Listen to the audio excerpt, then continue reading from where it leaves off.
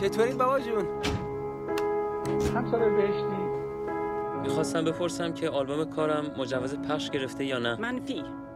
به علت عدم همخوانی با شونات اسلامی. اجازه شوهرتون رو داری؟ شوهر من معتاده. توی زندون 20 ماه به من خرجی نداده. من کنیز نمی‌خوام ولی از یک خانومم بدم نمیاد. کس نمی‌تونه اون چیزی که تو به من میدی به هم بده. جوابتونم مثبته. تازه حقوق منم برای هر دومون کافیه. تموم کنیم بحث.